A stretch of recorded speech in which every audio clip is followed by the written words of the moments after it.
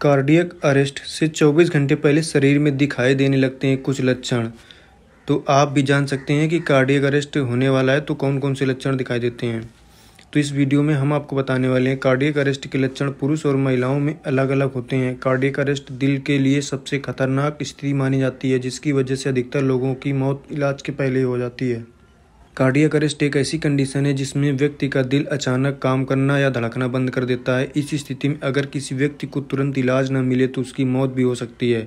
Expert का कहना है कि साइलेंट किलर बीमारी के लक्षण महिलाओं और पुरुष में एक जैसे नहीं होते।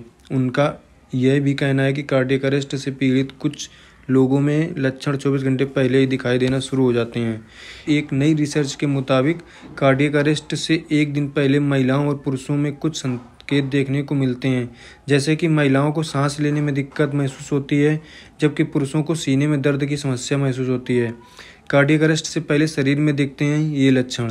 कम से कम पचास परसेंट लोगों ने कहा है कि उन्होंने कार्डियक अरेस्ट के कुछ घंटे पहले शरीर में कुछ बदलाव महसूस किए थे। महिलाओं ने सांस की तकलीफ़ महसूस की थी, जबकि पुरुषों ने सीने में दर्द का अनुभव किया था। हमारे द्वारा बताई गई इस वीडियो में कोई भी सुझाव अमल करने से पहले आपने किसी डॉक्टर या एक्सपर्ट की सलाह ज़रूर ले लें और ऐसी जानकारी के लिए चैनल को लाइक, सब्सक्राइब, शेयर करना ना भूलें। Thank you.